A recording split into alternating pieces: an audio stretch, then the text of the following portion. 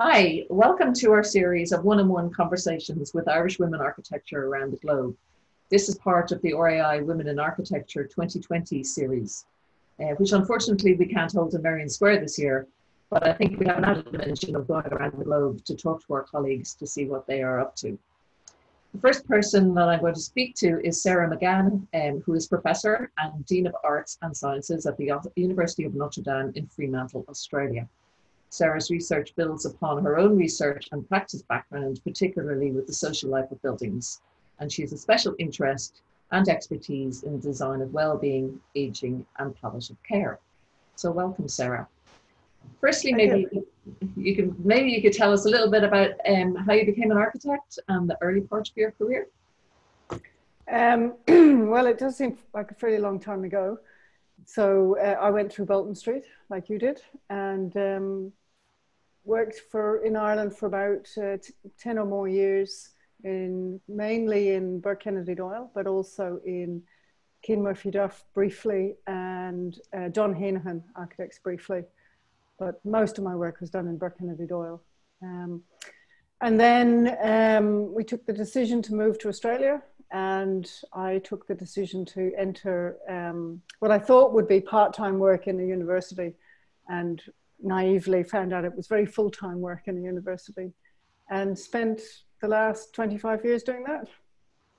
Very good. So, did you start teaching in studio or lecturing? How yeah, yeah, I started doing I started doing a bit of everything. I did studio, I did um, tech technology, did professional practice, um, and uh, also supervised dissertations and honors thesis and um, those sorts of things. Okay. And how big how big is the School of Architecture in Fremantle? Would it be so, an Irish school or much bigger? Well, I re- I moved recently. Well, as in I moved about six years ago to Notre Dame. Before that, I was at Curtin University, which is huge. Um, so I was head of, I ended up being head of architecture there and interior architecture as one department. And that was, um, we had about 900 students all up. And we had campuses running in Hong Kong, Malaysia, Singapore, um, and so programs running there as well. So I left there in 2014 and joined Notre Dame um, as Dean of Arts and Science there which didn't have an architecture program. So, so I got the uh, once in a lifetime opportunity to design your own program, and so started one um, last year, and we have the first graduates of the Masters of Architecture program graduating this year. So we've got a brand new program, brand new staff, and a um, completely different sort of take on architectural education, I guess.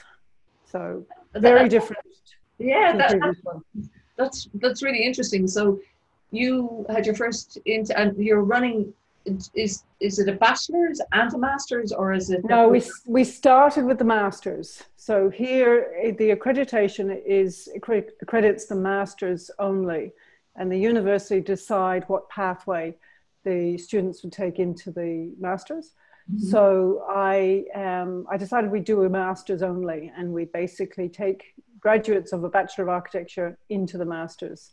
And then we, that way we'd get accreditation as soon as possible and we'd be able to sort of see how it, how it works. So that's what we did. We got um, a very small cohort of about 12 students that came in full about 16 all up, but about 12 full time that came in from other bachelors and uh, they're all ready to graduate. with About 20 coming through the following year. Um, and now next year we start the bachelor. So we build our own sort of feeder path into the masters. And is that like uh, here? It's a three-year to bachelor and two-year masters. Yeah, that? three plus two. Yeah. yeah. yeah, yeah, exactly the same. So yeah, so the bachelor kicks off next year. We've just written it, got it, got it through, and started marketing marketing now. And I guess the point of difference for for the program that I've started is that it um, the master's, about a quarter of the program is run in practice. So you're embedded in practice each semester um, with a practice partner and a mentor, and you complete your um, technology end of the master's in practice. and then you do you do the studio in on campus, and you do the other units, the research-based um, culture units on campus. So it's uh, it's designed so that you can work in practice and study at the same time, and, and, and we facilitate that. Okay, and people while they're working in practice, are they being paid to, to no, no, not necessarily. Um, it's actually the reverse because of the um, Fair Work Australia um, rules on unpaid internships. We went the completely different route. So we actually pay the practice partners for the supervision of the students. Mm-hmm. So they basically run the tutorial, if you like, in um, practice and they mark up the students' work. So it's an education experience, not for the benefit of the practice, it's for the benefit of the student. Mm-hmm. So the supervisor is paid as a staff member. Um, and so we have, um, I rang about 45 practices before I started it and said, you know, hey, would you like to be a practice mentor, practice partner, take a student? And they all said yes. In fact, we got, we got people ringing us and saying, how come I didn't get a student? Um, we had more practice partners than we had students. So um, yeah, so it's a very carefully designed program because it's got to meet the accreditation um, requirements yeah. in that unit. So all the technology based ones. So the first semester they do a design development, second semester documentation, third semester um, professional practice, and fourth semester practice management. So each semester has got a different um, focus, and they can do it all two years in one practice or they can go into four different types and sort of experience the whole range if they want. Well, that's an and so patient, really, isn't it? Um, and in terms of really learning the practicalities and the realities yeah, of practice. Absolutely, and and because we're a small scale, we can do that. The you know the previous institution I was at was so large, it would have been quite unmanageable to do to do that. Mm-hmm. So we've really focused on a small cohort, and that, and the practice partners were involved in the design of the curriculum. They're they're really engaged in the program. Um, you know, some of them are interested in doing research and further study and things like that. Mm-hmm. So, and it's the draw card for the students. They graduate from a two-year master's with two years working in different practices. So they've got something on their CV. They've got some drawing sets, you know, those sorts of things. So um, that's basically the the sort of winning ticket of the program, if you like. There's a couple of questions that kind of spring to mind in that. I mean, one, I suppose because of the cyclical nature of architectural practice and how closely tied it is to the economy. I know in Ireland we've seen these huge peaks and troughs of employment yeah. of architects. I mean, that's that's one perhaps risk factor in, in that type of education. Well, it, it's actually the reverse because what happens is when there's a trough, um, you get a lot of inquiries from people working in practices to want to know if they can come and teach and take time out to come and teach. This allows them the opportunity to teach, but without leaving their office, if you like. Um, and so they get, you know, a, some amount of money. We've done it so that they they can end up with pairs or even four students, um, and they get paid per student. So they can run mini groups within studio or within a technical focus within the practice. So um, most of the practices are really like that. So they can you, we either pay the practice themselves or we pay the individual supervisor for the supervision. Okay. So we took the model from Notre Dame is very well known for its education and its nursing. They, they were their flagship programs and they're considered the best in the country. And for those, we actually pay for the practicums. So all our students do practicums and it's in the professions, it's a paid practicum. So we pay for them to supervise them through particular marking up the work, aligning it with the accreditation competencies, and coming to studi- coming to the university for seminars where mm-hmm. the work is presented and the practice partner and the student jointly pre- present the work that they've been going through. Um, and there's different models. If there's low work in the practice, then it may be that the student brings their own project with them to the practice. Mm-hmm. Or if we've some students who've transferred from an interior qualification who are doing their Masters of Architecture and they're also running their own interior firm. So they bring their own project and they set up a, a, a pairing with the architect's office and mm-hmm. the interior office and they work and develop that as a sort of a body of evidence. So if there isn't a lot of work in the in the practice, you know, um, the, it can be done through kind of very project-based work then. Yeah, or they can bring their studio project with them. Yeah, and develop up an element of that. Yeah, through right through to uh, you know documentation.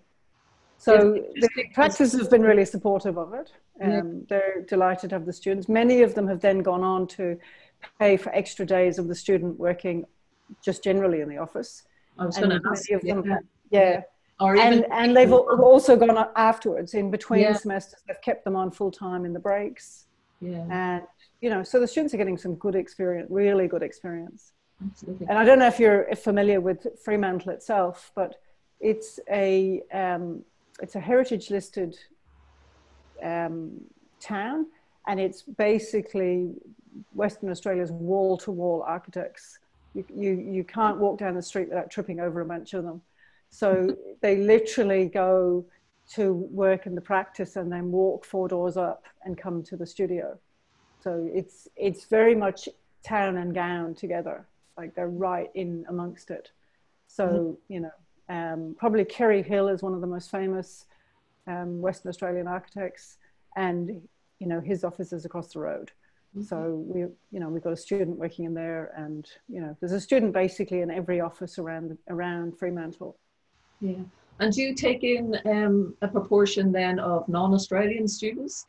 Well, we've got one coming this year. I've got a Norwegian boy who's uh, signed up, mm-hmm. um, and I've got an applicant from St. Petersburg in Russia who found us um, online because essentially the the residency visas for Australia. If you do a two-year program in Australia, you qualify for applying for permanent residency. Oh. So um, that gives students kind of an impetus to want to come and study and mm but then also to have the networks and the practice um, experience is yeah. really attractive. So I think it's also the scale. We're very small um, in Australian terms. I mean, I know that when we went through Bolton Street was like 40 per mm-hmm. year, and I think UCD is still only 50 something. In Australia, you can have first year of 150, 200 students. Mm-hmm. So it's massive, whereas we're aiming at the 40. Yeah. So we haven't got there yet. We're still only 20, but. I, uh, the just the um, the kind of the, the non non national whatever country you're in student cohort, and um, certainly in Ireland seems to contribute a huge amount of finance to third level institutions because they are paying yeah. far more than the the, yeah. the local people to go to college there. I know my son did a semester in Melbourne in the School of Architecture there, and there was quite a lot of uh, non-Australian people. Probably about 30 or 40%. Yeah. Um, Melbourne, Uni Melbourne would have been one, would be one of the big ones for sure. Yeah. And, and, Vict- and the whole of Victoria is pretty focused, like a lot of particularly Southeast Asian students want to come to Melbourne because it's a, a buzzy place. Um, Fremantle's a little bit um, smaller and so not quite, doesn't have quite the same buzz of, of Melbourne, but we have a, you know, a reasonable amount that come to Western Australia. But mm. Notre Dame itself hasn't really been in the international market to date. So because I think I think this, the third level institutions that do rely on the international market are going to be particularly badly affected now. And Australia, oh, massive, yeah. About as you say, even Western Australia is kind of closed up, but the whole of Australia, absolutely, yeah, yeah. It's it's really tough, particularly students, international students who are halfway through their program and they can't get back.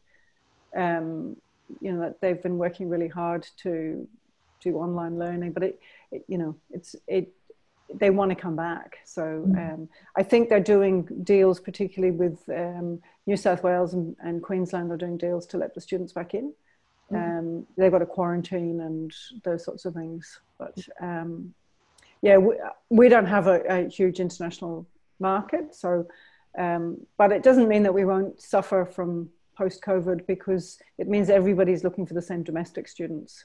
Yeah. So you've really got to have the point of difference. Mm-hmm. So, um, so certainly our practice placement um, is a is a is a big one, and that's when talking to the students about why they chose to come to study with us. That's the single biggest reason. Yeah, yeah. I mean, also the small classes. They they find they're getting lost in the big classes, and you know, studios of sixty or hundred so ours with a studio of 20 is, is pretty tiny. Yeah, and I can see that from going around schools of architecture in Ireland, visiting end of year shows, and even having the opportunity to attend for crits, which has been fantastic. You can mm. see the dynamic of a an architectural studio is really important. The numbers are too small; it's difficult to get that dynamic, and if it's too big, it, it also gets lost. Um, mm. And that um, that that interaction with your peers and with the staff is so important as well.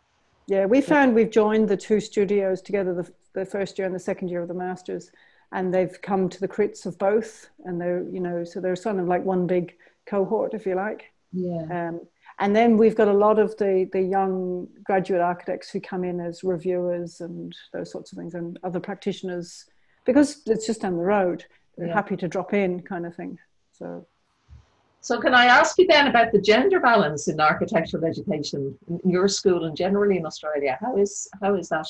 Um, in student terms, it's probably 50-50.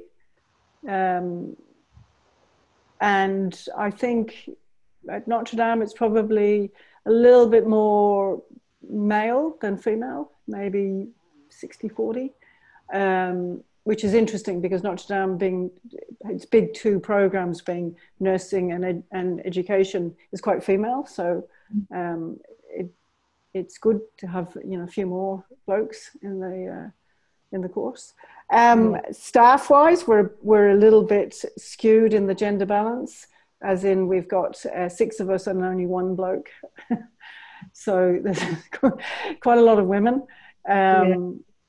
But we, we, make, we make up for it with the, with the guest reviewers and things like that, so that we get a good bit of gender balance. Is it something and I think, that you're aware of and conscious of, or is it something that doesn't even come into it's just oh look it, it's it's really changed in the time i've been in education it's really changed from being heavily male dominated to much more senior leadership in women um, so the uwa which is the one of the other schools in in western australia kate's the dean there um, and the previous dean at Curtin University was also female, she subsequently left. But at one point, the three of us were three women leading, leading mm-hmm. all the architecture programs. And I think Uni Melbourne, um, RMIT, Monash, they, they've all got female heads. Mm-hmm. So there's really strong balance. And do you um, track your, education. Do you track your graduates? I know your school is only new, but, but even in, in previous years to do you do a follow through because it's one of the big um, difficulties that I'm sure you're aware of is the fact that so you know while there might be 50-50 in the schools when it it comes yeah, to the registration goes down yeah, yeah. And, and, certainly as in, in the RIAI the retirement category is only something like 9% women um, of retired architects and it, yeah. will change as time goes on and that's still a problem in Australia the um, the number of women that don't register that continue to work maybe but in the background and don't actually register that's a, that is a real problem um, and the number of women principals in larger companies is, is problematic mm-hmm. um, we have a group here called Parlour um, which has been really working on the gender equity and the gender balance and the seniority and the seniority within um, practices and within education. So that's going for about 10 years and that's been really successful. Yeah. Um, in getting something happening with that. Yeah yeah indeed. Yeah. So um yeah i think it's i mean um, certainly i was the first female head at curtin university and i was the first female dean at notre dame so um, i think we've got a lot of firsts yeah. happening and we've had our first female president in of the institute in western australia okay. Um, so we're getting there. Yeah, it's slow. It is slow.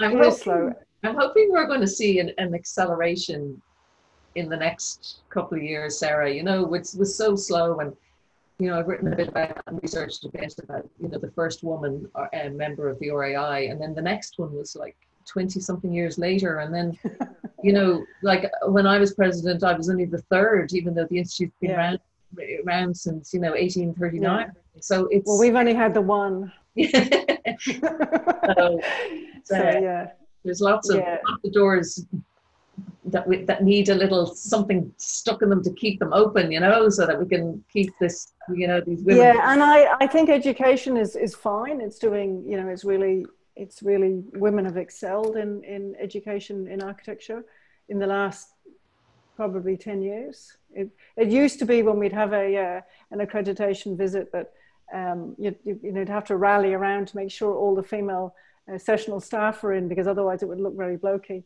Yeah. Um, but by the time I left, it, it, was predominantly quite a lot of senior women, and um, yeah, it was much more balanced.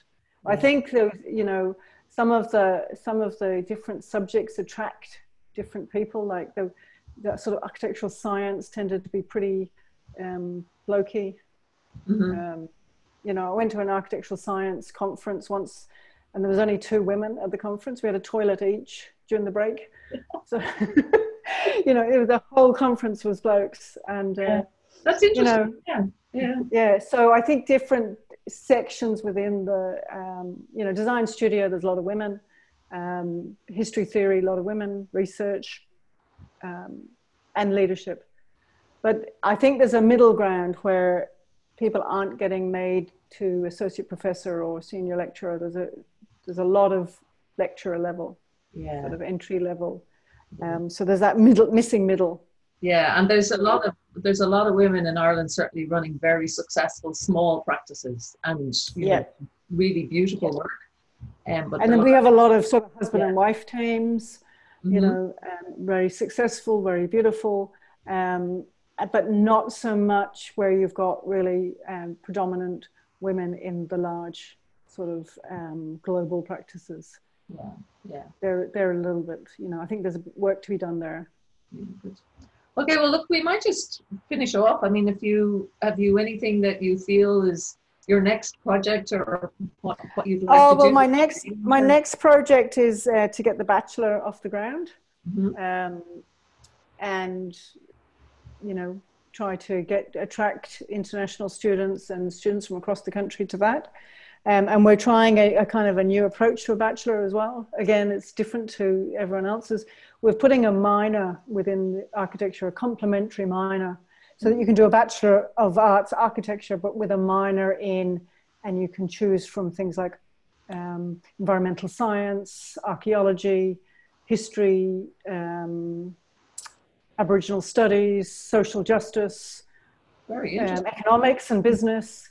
You know, depending on what sort of an architect you see yourself being, you can take an extra, yeah. you know, add up those courses to, to make a minor and that way when you come to the masters everyone has got like different specialties mm-hmm. with a different area of focus mm-hmm. um, so that that'll be a little bit different I, I, think there's a problem of attrition after a bachelor and not much you can do with it because you're not an architect but you're also not qualified in many other areas so mm-hmm. this is this is to to give a rounded built environment so if you wanted to go and work in government for instance and you've got some a politics minor uh, or major and architecture or journalism and architecture or mm-hmm. film and architecture so you can get this kind of two things going together which will increase your um, you know your career choices down the track as well as allowing you to go into the masters but I think, and also, um, I think that's fantastic. I think you've hit the nail on the head about that exit after three years and, and, and what we're qualified what are you to do. And I mean, the architectural training is wonderful training, but it's quite non-specific and quite poorly understood by, yeah. by people outside of And there's a lot of stuff we're doing to do with computer programs or drawing skills. There's a lot of skills-based stuff that um, is taught at quite a high cost yeah. to the student. Yeah. Um, whereas some of the other subjects, it's not the sort of thing that you can you can pick up with a you know, software package. Um, so this is kind of looking at a different way of teaching the program so yeah, that I, I also those skills that, can be done differently.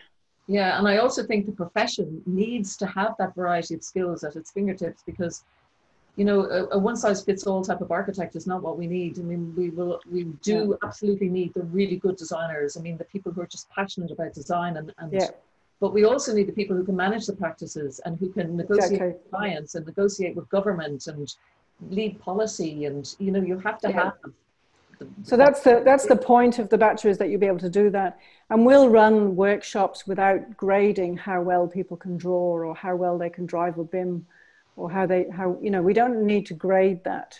They can just learn that. You know, we can throw on workshops with from our master students to to run drawing classes, but we don't actually need to grade it. Mhm. Um, so if you can come out with a qualification that gives you multiple pathways and gives the architecture outward focus, but also the graduates an out, outward focus, of which one of those is do a master's and become an architect. The other might be work for the local county council and, and do, um, you know, urban design type projects Mhm. or, you know, whatever. yeah. So I think it, it'll be interesting to see how it goes. We're we're um, setting the bar quite high in terms of intake, so that they're well qualified students coming in, um, and again keep this cohort small so that we can keep the quality high. Excellent. Sounds like it sounds like a really, really great course, Sarah. And I didn't know that much about it, so really, really, yeah. yeah, we're not that great at marketing it, but you know no. Well, we might get a few Irish exchanges. I would love to see some some people from the schools of architecture in Ireland. Well, hopefully they will listen to this conversation, and it may um, may take them a little bit along the road in terms of because architectural education, you know, it, it does need to, to change and adapt. Um, That's right. Yeah. I mean, not radically, but it, it, it that whole thing of that link with practice is so essential. Um, Yeah. Yeah. And it's just difficult to manage unless you kind of uh, plan it within. It's difficult to sort of retrofit it afterwards. Mhm. Um, it needs to be planned fundamentally and with the practices behind it. yeah. So, and the practices have been have been amazing. Just crying out for it. They can't they can't give enough time. I mean, we had our you know end of year exhibition. We had, I think we had 16 students and 150 practitioners turned up. So you know, it just shows you the level of interest to see what this new model is doing. yeah, of course. Could have been the free wine, of course. of course, of course. Okay, well, listen, we'll let's, All right. let's finish up there. So that that was fantastic, and uh, we look forward to hearing more from you on the 9th of July with the other five Great. lists, and uh, we'll talk to you then. All right. Thanks, Cara. Thank you. See you. Bye.